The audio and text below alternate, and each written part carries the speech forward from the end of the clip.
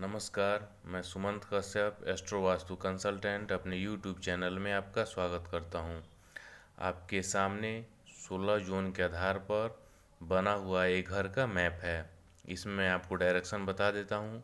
यहाँ से नॉर्थ है north north north east north east east north east east east south east south east south east south south east south south south west south west west south west west west north west north west north north west और यहाँ north यहाँ मैं सिर्फ़ एक point इस video के माध्यम से आपसे डिस्कस करूँगा कि कैसे सिर्फ़ एक बेड पर आदमी के सोने का पोजीशन बदलने से समस्याएँ उसकी ख़त्म हो गई।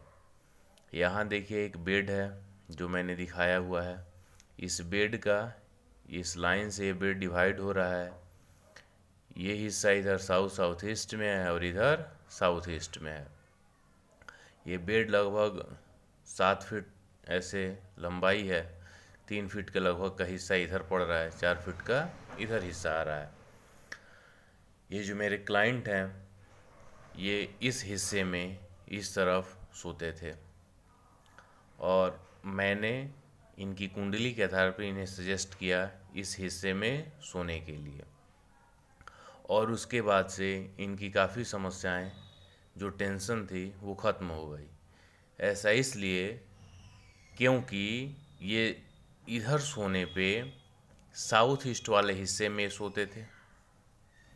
साउथ ईस्ट जो है, इनकी कुंडली के आठवें भाव को बताता था प्रत्येक व्यक्ति की कुंडली के आधार पर उसका वास्तु होता है, यही एडवांस एस्ट्रो वास्तु रेमेडीज कहलाता है।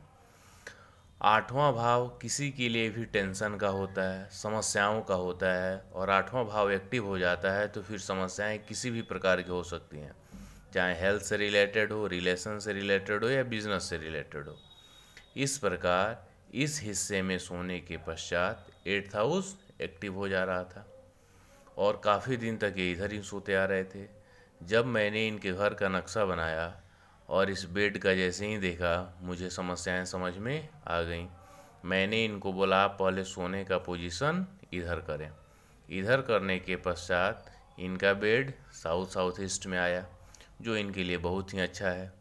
अब यहाँ सोने के पश्चात ये काफ़ी अच्छा फील किया।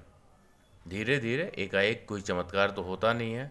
लगभग सात आठ दस दिन के बाद इनको बहुत ही अच्छा फील हुआ और उन्होंने मुझसे आगे अपने घर के वास्तु के लिए, क्योंकि मैंने सिर्फ़ पहले नक्शा बना के और सिर्फ़ यही एक चीज़ इन्हें सजेस्ट किया था। बाकी कुछ भी मैंने नहीं कहा, कहाँ, क्या करना है, क्या रेमेडीज़ करनी है सब कुछ नहीं बताया। सिर्फ़ इतना करने के पश्चात ये काफ़ी प्रभावित हुए। उसके बाद इनके घर का बाकी जो वास्तु के रेमेडीज़ थे, वो काम मैंने किया। इस वीडियो के माध्यम से मैं सिर्फ़ आपको यही बताना चाहता हूँ कि घर नहीं बेड पर भी, जैसी ये स्थिति आपके सामने दिख रही है, कि बेड की स्थिति पर सोने की स्थिति बदलने के पश्चात भी व्यक्ति को लाभ या हानि हो सकती है। इस प्रकार एडवांस एस्ट्रो वास्तु हमारे जीवन में बहुत ही सटीक और आश्चर्यजनक प्रभाव डालता है। बने रहिए, मिलते हैं कुछ और वीडियोस के साथ।